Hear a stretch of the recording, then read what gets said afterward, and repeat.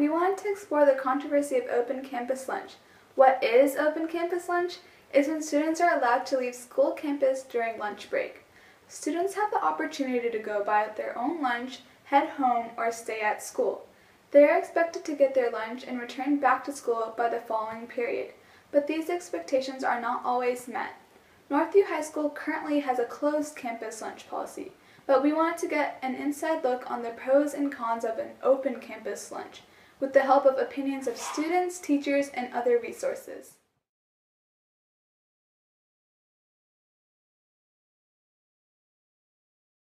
I think so because I mean, students are. I mean, teachers aren't really like responsible for like students and their actions. The amount of students trying to leave all at one time and actually get back before the bell rings, along with their safety, is enough of an issue for me to kind of question it and feel a little bit too worrisome, I guess, about it because they, in order to try and get back so fast, there'll be a lot of craziness going on, a little speeding, a lot of potential problems. Sometimes when you just sit at lunch, you sit around and do nothing, and you can do something more productive with your time. Um, I think it would be nice if they did. However, I think also that if students were trying to run to get lunch, it's very busy around here, and the time that it takes to go somewhere to get lunch and then come back, there's not a whole lot of time because of traffic, and I would be afraid that students would get into an accident trying to hurry back. So I think that I would be um, a strong uh, opposed to that. Um, I would say no because kids can get in a lot of trouble like during lunch. They can say I'm gonna go get lunch, but in reality, they're gonna go do some shady type activity outside of school. You know what I'm saying? Uh, no, I don't think students should be trusted because I feel like some students wouldn't come back if they left during school.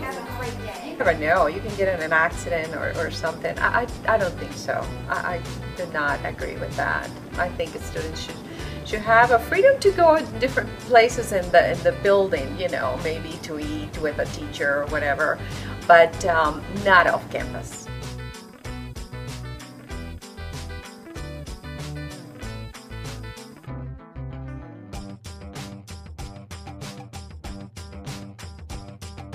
Northview High School doesn't have that many convenient restaurants within close proximity to its building. There wouldn't be very many restaurants available to students for the amount of time given in our lunch period. And it would be pretty risky for students to drive farther just to get to the restaurants they prefer, such as Chipotle. And since it's farther, students would have to rush to get back, which would cause more accidents.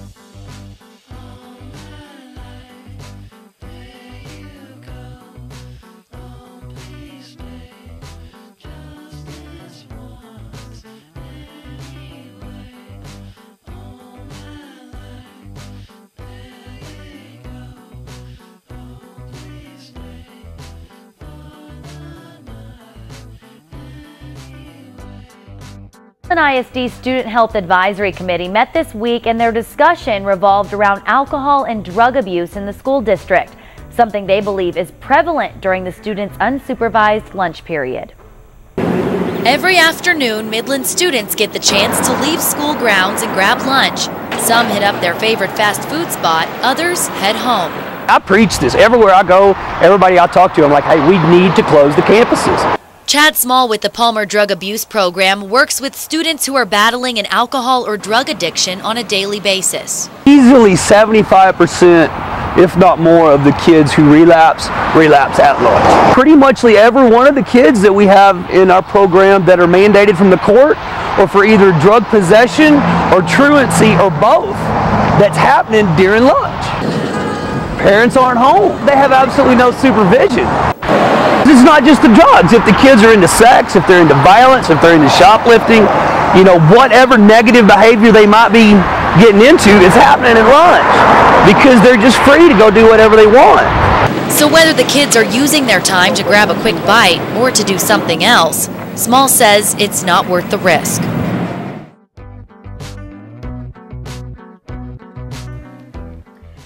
National School Lunch Program provides nutritionally balanced, low-cost, or free lunches to children each school day.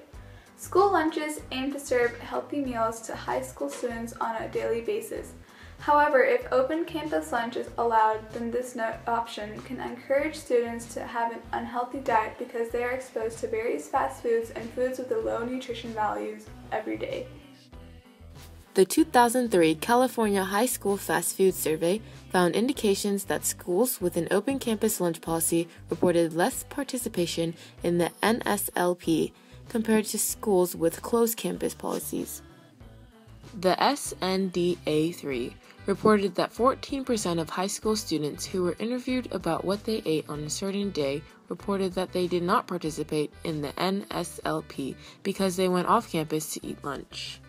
The food environment surrounding schools could easily negate schools' food policies and health education in the classroom, especially in high schools with an open campus policy that allows students to leave campus during their lunch break.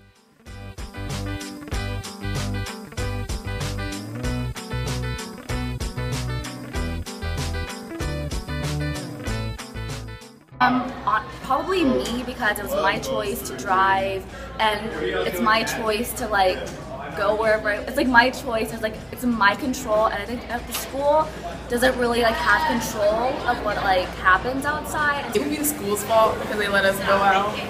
oh, I would be because I'm the one driving. It's Okay. my car, my insurance.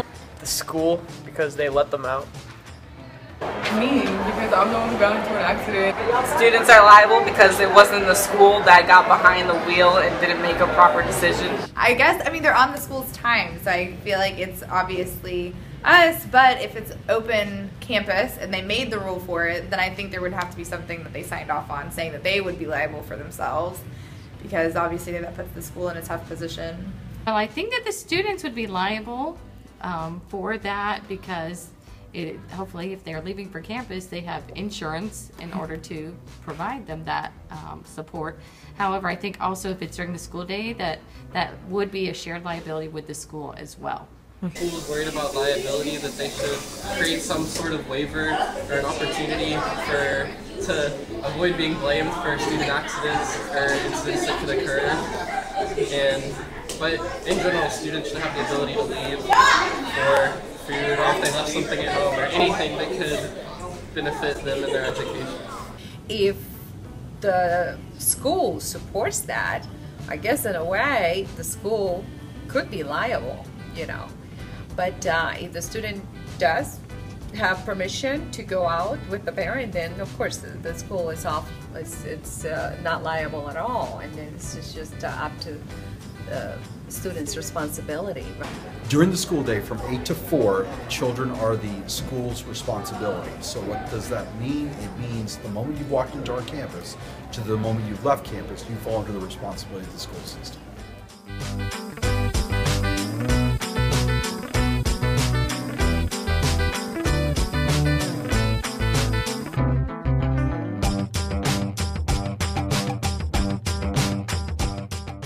Open campus lunch may seem exciting and beneficial to the students, the negatives outweigh the positives. In this documentary, we showed how open campus lunch may be hazardous and impractical to the students leaving during this time. The short lunch time span of Northview High School's lunch does not give students enough time to buy their food and arrive back to school promptly. In addition, open campus lunch does not ensure that students are provided with a healthy and nutritious meal every day. Instead, students have more access to unhealthy foods and drinks on a daily basis. Also, liability issues might arise within the school, considering the many risks that come from this lunch policy. Overall, Northview High School's closed campus lunch policy is the best policy in order to ensure the safety and the well-being of its students.